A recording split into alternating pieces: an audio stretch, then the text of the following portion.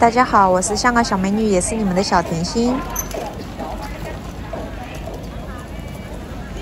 现在呢，在香港洋务道菜市场，很多朋友说这菜市场附近啊，就像内地的三五线城市，又破又旧。其实这个地方呢，就是老城区，年代久远，估计有百八十年了吧。每个城市的老城区都一样的，就像人一样都会老，房子也会老会旧，但是它的价值是只会增不会减的。小伙子不好好卖菜，玩手机。他家东西贵，西红柿二十元一磅呢。看看烧腊味，盐焗鸡六十八元一只。在香港呢，现金交易很平常啊。内地的很多朋友看见了都会惊呼：我们好几年没摸过现金啦，都是手机支付的。香港流行刷八达通，政府发市民的交通补贴、发现金券或者什么补贴的，一般都打到八达通上面，也可以打到支付宝上面。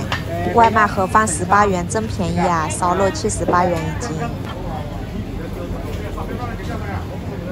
很新鲜的肉。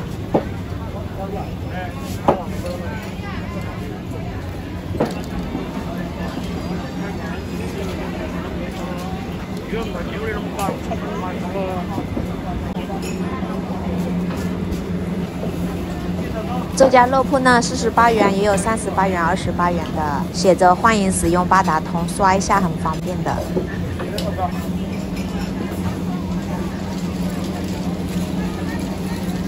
看一下冰鸡六十元一只，冰鸭三十五元一只，这么便宜吗？冰鸡爪十五元两磅，鸡翼二十八元两磅，黑脚鸡一百三十元一只，咸蛋十元五只。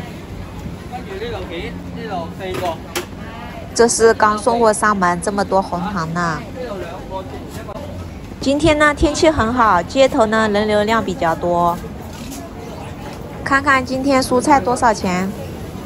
莲藕十五元一斤，生菜三十五元两斤，油麦菜十五元一斤，西洋菜二十元一斤，板栗肉十三元一磅，二十二元两磅。